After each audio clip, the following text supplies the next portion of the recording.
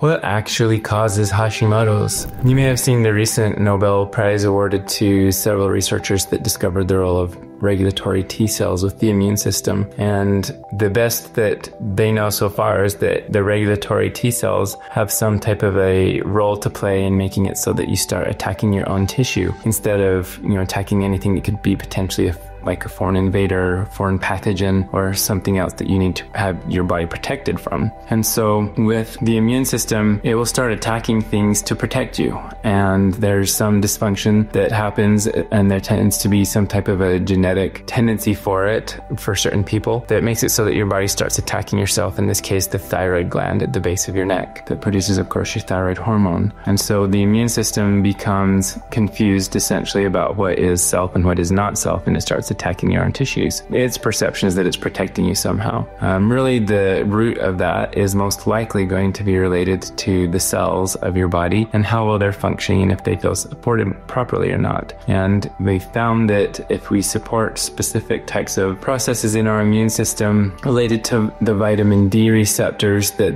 if we support them properly and help them to work the way they need to, that we can even basically put our autoimmune conditions into more of a state of remission. And some people would say cure, and which terminology you prefer doesn't matter, except, of course, that we feel better is what matters.